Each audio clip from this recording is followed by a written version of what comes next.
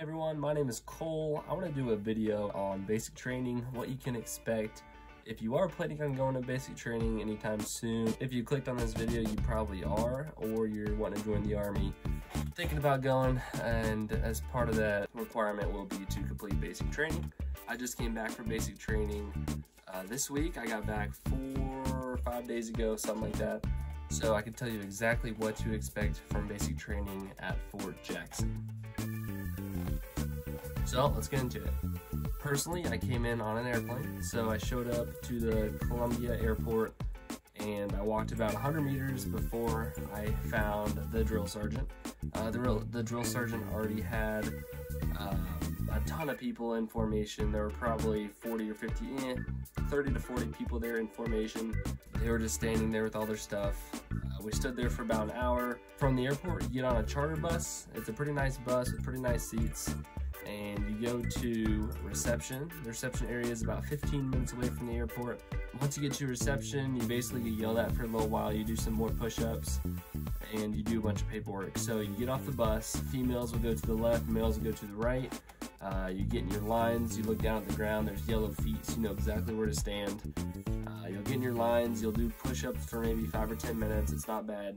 Then you file inside, single file line inside, the ladies go first, and then uh, the males will follow after that. At this point, it's pretty late and you have to be up about 3.30 to 4 a.m. the next morning. So you won't have a whole lot of time to sleep. I think I got like two hours of sleep. It's gonna be a really long day that first day. So you'll spend a total of about three days at reception. The reception area is nice because you do get pretty good food, one, and two, you get your phones. So when you're up in the Bay Area sleeping, uh, you will have access to your phones. The other things you do at reception are your shots. After your shots, you will get your uniform issued to you, your boots, your OCPs, your PC, all, you, all your stuff issued to you, and you'll also get your ID card picture taken. You'll get this picture taken as your rank, it has all your stuff on it, has your name. You won't get to keep the card at this time, but the card will follow you wherever you go, so your drill sergeants will keep track of the card for you. At reception, you also get your first haircut, as you um, are expecting. I think it happens on day two. And finally, uh, you will start your fire guard shifts. So what fire guard is, is two people will be awake at all times. They'll basically be walking back and forth or standing by the door, and the drill sergeant can come in at any time and ask you, like, what's your second general order, uh, what's the soldier's creed? You just answer the question, and generally they go away without a problem. The issue is when somebody's not at the door, when they're asleep at the door, um, that's when the drill sergeant will wake up the entire bay, basically embarrass you, and make sure you don't do that again. So after your third day at reception, you'll get on a bus and you'll go another 15 minutes away from there to your actual company. This is where you lose all your stuff. As soon as you get there, they're gonna march you in, they'll yell at you quite a bit. They're gonna give you an MRE and you're gonna have no idea what you're doing with this MRE. Unless you've looked up on YouTube how to eat an MRE, you don't know how to use the heater that they provide you. So when they give you the MRE, you really don't know what you're doing. MREs are not that difficult. However, the first time you get one, you're not gonna have time to read the directions or to figure it out. It's hilarious watching people try to figure out these MREs. You won't get a whole lot of food in on this meal. Uh, just accept that for what it is because you will eat dinner that night at the DFAC. You're gonna do a quick layout of all your stuff and this is when you put your personal bags in the lockers and you don't see them again for a while. Your phones also go in your personal bag. At this time, you're starting your 72 hours of suck is what we called it. You don't know it at the time, but you have the first three days to really break yourself into basic training, and that's when the drill sergeants are the hardest on you. Uh, one, you're in red phase, and two, you're in the first three days, the first 72 hours. So if you can just get through these first three days, you're gonna be all right. But some things you can expect are real short times to eat. You'll have like five minutes or less to eat your food. Uh, you'll have all this food on your plate and then they'll just be yelling at you, eat, chew, eat, chew. They'll be in your face screaming right behind you as you're eating. The shower drills are somewhat comical as well because you get like two or three minutes to get undressed, shower, and then get redressed and they're yelling at you the whole time. They're in total control in the shower. If you're the first group to go in, the shower's ice cold because the water hasn't warmed up yet. Your shower drills are just, they're gonna suck. After these three days are over, you're basically in week two. You'll start week two on Sunday, but you don't have to worry about the shower drills one, and then two, they won't yell at you as much at the DFAC. They are still gonna yell at you, um, as you're eating, but it won't be nearly as bad. You'll notice a difference from the first three days to the second week you're at basic. During the second week, you're of course gonna have your PT every morning. Our wake up was 05, which wake up means be total line, be at the end of your bed and full uniform ready to go at five. Uh, that's what wake the wake up time is not the time you actually need to wake up. So if they say wake up's at 5.30, you need to be up by 5 uh, shaving doing all the other stuff so you can be ready to go in uniform at 5.30 when they walk in the door. You're gonna go over basic trainings, your harassment training, your Army core values training, those types of things. A lot of trainings in the Army are pretty dry, but you need to stay awake, pay attention, just get through them, they're not hard. During week two, you can also start sending mail. You won't be receiving any mail, but you will. you can start sending mail and then people will start responding to you by about week three, probably as early, maybe the end of week two, but probably about week three, uh, you'll start getting mail coming in. Also during this week, you're going to have your first PT test. So you're going to go out and do the, the new fitness test, more than likely. That's the one I did. And another thing you're gonna do this week is your CIF equipment issue. So you'll go to CIF and get all your stuff issued. You already have your uniforms, but you'll get your rucksack, your sleeping bag, You'll get a bunch of your, your shovel, a bunch of the items you'll need to go on your rucks and your overnight marches.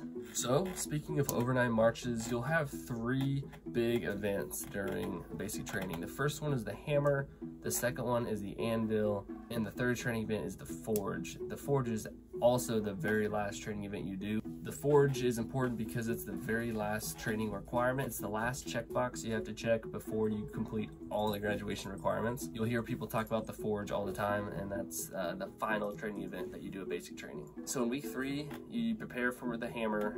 You haven't gone on a ruck yet, so you don't really know what to expect. It's really easy. You ruck out maybe four or five miles, not very far. You put your sleeping bag out, you'll sleep on the sleeping bag. The next day you'll do some trainings.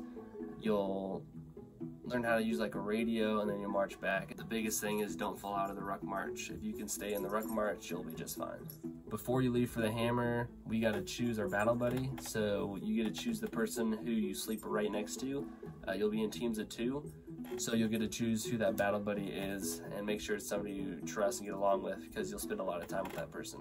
You do Victory Tower as well. And that's where you rappel off the big tall tower. It's pretty easy. There's a few different stations there. Uh, you'll do a practice rappel, then you'll go up and do the actual rappel.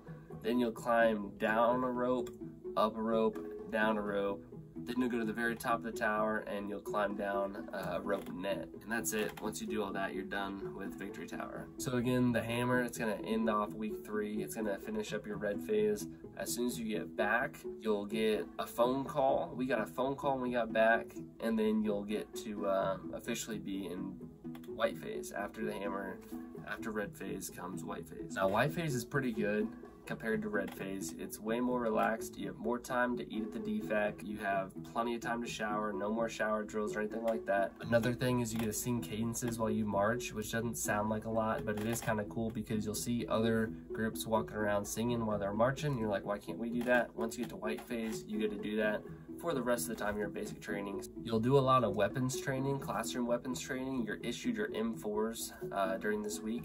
So that's the weapon that you'll learn how to take apart, put back together. You'll do that hundreds of times, take it apart, put it back together over and over and over. You'll clean it a ton of times. You'll take Q-tips and stick the Q-tips in there and have a little speck of carbon on there and say your weapon's not clean.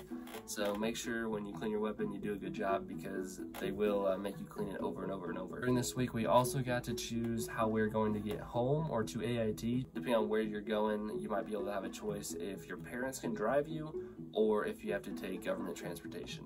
Week five, we had a lot of classroom training on weapons. We had Fit to Win. So Fit to Win is a whole team obstacle course where there's like 10 obstacles and everybody on your team has to do, has to finish one obstacle before you can begin the next obstacle. So say it's like low crawling, everybody has to finish the low crawl and then the first person can start the next one if it's monkey bars or whatever it is uh, and then you'll race against another team, uh, another or another platoon. On the other side of the street, we had another team building obstacle course type thing. You pick people from your team to complete this scenario. So there'll be like a wood block in the middle, and then they'll give you a rope, uh, a two by four, and then a, an ammo box. And you have to get the ammo box and uh, people from your team from one side of the pit to the other. Now, a lot of white phase is going to be shooting. A lot of the time is spent at the range. You'll be shooting your M4s. First, you'll group in zero with your iron sights. So you'll go, you'll make sure uh, your iron sight is wherever you point is where the, the round is going to end up. So make sure it's a nice tight grouping. After that, you'll go and qualify. Uh, you have to get 23 out of 40. It's not very hard to qualify. After the iron sights, you'll do the exact same thing uh, a few days later with the red dot sight. CCO is what they call it. You'll go and group in zero the red dot, qualify at the red dot as well.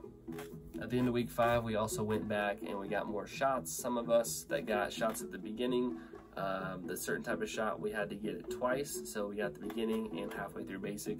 So we went back and did that. And then we turned in any items that like didn't fit and then replaced those for new items. So if you had boots that were defective or whatever, you would at this time get a chance to replace those for new boots. So the beginning of week six, uh, we finished up our qualifications at the range. If you, if you already qualified, you literally sat there and did nothing. You sat in the bleachers and read study material. Or if you were unable to qualify, uh, you just went over and over that day and shot and shot and shot until you did qualify. The rest of this week, we prepared for the anvil because at the end of week six, you will step off for the anvil. So we practiced in the classroom land navigation, nine line medical evacs, basically things we, we thought we needed for the anvil. When it comes down to it, the anvil is just like the hammer, but you stay out in the field an extra day. So the hammer, you sleep one night in the field. The anvil, you'll sleep two nights in the field. The march out there, I believe, is ours was around six miles, so it's a little bit more intense than the first one. Still not bad. And the anvil was kind of cool because we didn't even have to march back. We got up in the morning, we walked about a mile to a bus location, and the buses picked us up and drove us back. So that was kind of cool. I'm not sure if that's how yours is, but that's how mine was. When you get back to your company, they'll do the little ceremony transitioning you from white phase to blue phase, and then you'll get your phone calls. Now week seven, things kind of start to feel real because you don't get fitted for your dress blues. And when you put your dress blues on, you can just feel the graduation. Like you're almost there, you're in blue phase, uh, you're about to graduate you at least get it fitted. You don't get to take it back with you yet, but you get it fitted so then they can come drop it off next week. And after they dry clean it, uh, it looks really nice. In week seven, we also did some classroom training on grenades because coming up soon, you guys will end up throwing two live grenades. And then we also did a practice land nav course. So that one was really cool. We got to pick our teams for that as well. There are four or five of us. We plotted our points just around our company. And then we took a big, um, a big chunk of time, probably three or four hours uh, the whole afternoon and went and did this land navigation practice course. To end week seven, we did a practice PT test. The scores didn't count, but it just shows how you improved from week two to now. Uh, they, they just want to see improvement. They don't really care what you score as long as you're getting better. It doesn't matter if you pass again. Uh, the pass doesn't really matter to the last PT test. So the next week, week eight, is where you throw your grenades. You throw your two grenades, and that's pretty much it. You'll take your final PT test. It's good to get that over with. And then you'll do random classroom trainings all in preparation for the Forge. Uh, because at the end of this week, you do step for the Forge and basically uh, finish basic training. So you don't really know exactly what to expect with the Forge.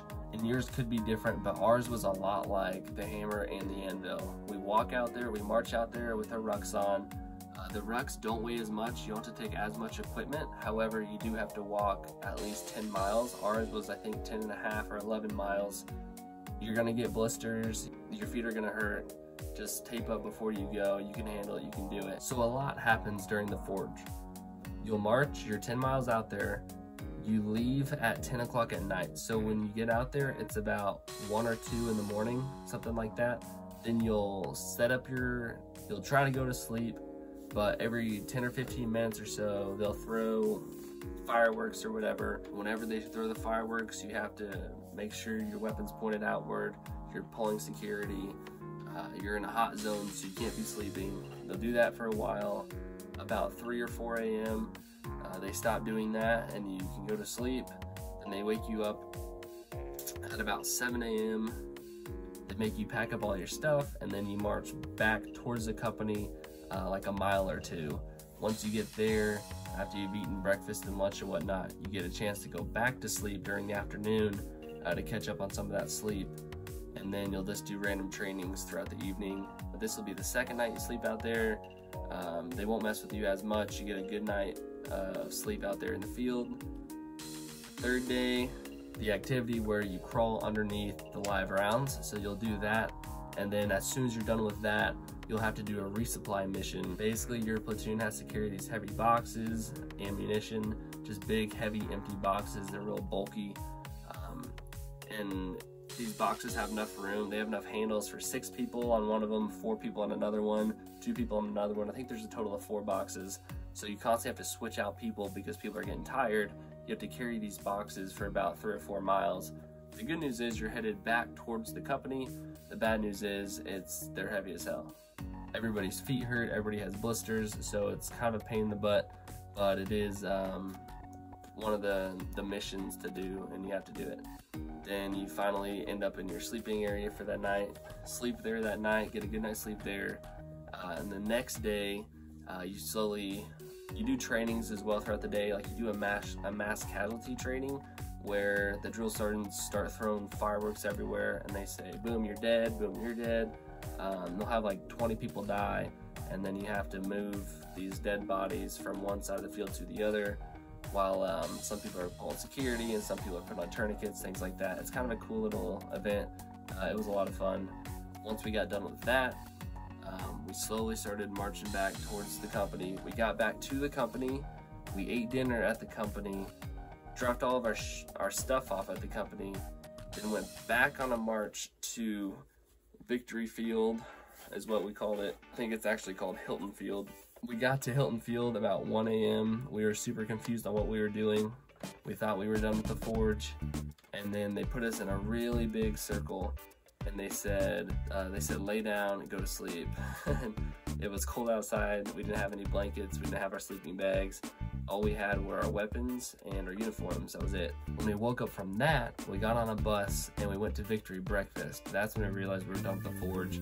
Is our drill sergeants, our platoon leaders, so our lieutenant, and then even our captain came in and they were feeding us breakfast. We got a good 25 minutes to eat. That ends in week eight, and you'll be there a total of 10 weeks. So there's still about two weeks left of training of what you have of basic. But in those last two weeks, really all you do is you get up, you do PT in the morning, you'll do bay maintenance. So you'll go and you'll clean your bays, uh, you'll make them spotless. You'll clean out your lockers. You'll turn in all your stuff to CIF. So all that stuff that you used, your tarps, your shovels, you got to clean all that stuff and then go turn it into CIF. Once you get a go from CIF, you're good. You're you're done. All you're waiting for is to leave to go to AIT. And then you'll have family day the day before graduation where your family can come out. Uh, you'll hang around on base with your family. Uh, I didn't get family day. It was canceled because of the coronavirus. Um, but we still got to walk around base. We got to go to the troop store. We got to get real food. For that evening, we were allowed to call our parents, and we had about 40 minutes on the phone instead of just the 15 like normal. And then the next day was graduation. Again, we didn't have a graduation because of the coronavirus, so we still walked through and did the motions of graduation. However, there were no people there to watch us, so they Facebook live streamed it. The next day, uh, we were scheduled to leave, and I gotta go home. So basic training is a lot. There's a lot to do. There is a lot that happens, but you get in a routine. You just do it one meal at a time and you get through it. It sucks really bad at first. Uh, it gets a little bit better as you progress throughout. Just remember nothing that the drill sergeants do is personal they it's their job to to do what they do. So sometimes you'll hate them they're just doing a job just like you would do if you were in their situation. They're gonna do because they're in that situation and they're in that position. And again remember every single basic training experience is going to be a little bit different. You guys might get 30 minute phone calls or might get 15 minute phone calls or you guys might march seven miles or I march six. Everything's gonna vary a little bit but that's just the basic itinerary of what you can expect at Fort Jackson. Again I just graduated basic training in March of 2020, about five days ago. So if you're watching this anytime in 2020, you can expect probably what I expected. Anyway, if you have any questions about basic, feel free to let me know in the comments. I'll definitely answer anything I see down there. And good luck to you guys.